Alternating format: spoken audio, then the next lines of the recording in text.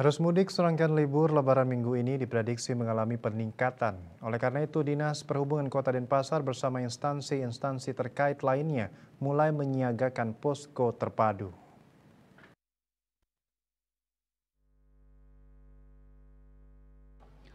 Ada empat posko terpadu yang dibangun di Sub Denpasar. Posko terpadu ini meliputi Pos Umo Anyar, Pos Terminal Ubung, Pos Pelabuhan Sanur, dan Pos Pelabuhan Serangan.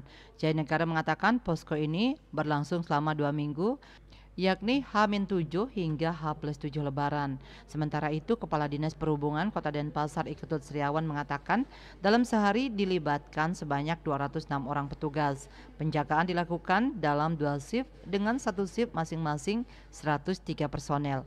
Sementara itu, jumlah kendaraan angkutan yang disiagakan bagi pemudik berdasarkan data dari Organda sebanyak 245 kendaraan. Semua kendaraan tersebut juga sudah mengikuti ram cek dan dinyatakan layak jalan. Pihaknya juga akan melakukan sidak ke Pulbus yang ada di Denpasar untuk mengecek SOP keberangkatan. Dilakukan pula pengendalian angkutan barang non kebutuhan pokok pada H-4 hingga H plus 4 lebaran. Asmara Putra Bali Pos melaporkan.